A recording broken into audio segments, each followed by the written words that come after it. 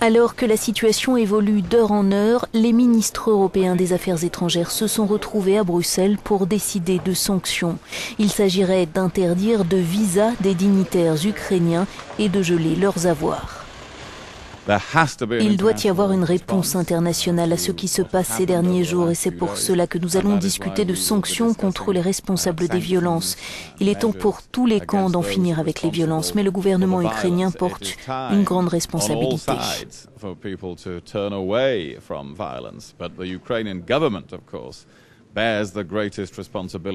Autre mesure envisagée, l'interdiction de vendre à l'Ukraine des armes et des équipements pouvant servir à la répression, mais tout dépendra du résultat de la médiation tentée à Kiev par les chefs de la diplomatie française, allemande et polonaise.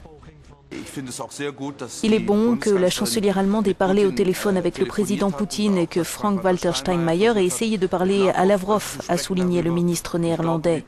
Je pense que nous partageons avec les Russes la responsabilité de la stabilité du continent. Et c'est pour cela que nous devons aussi négocier et parler avec les Russes. Mais pour ces Ukrainiens venus manifester dans le quartier européen, une médiation incluant un émissaire de Vladimir Poutine n'augure rien de bon.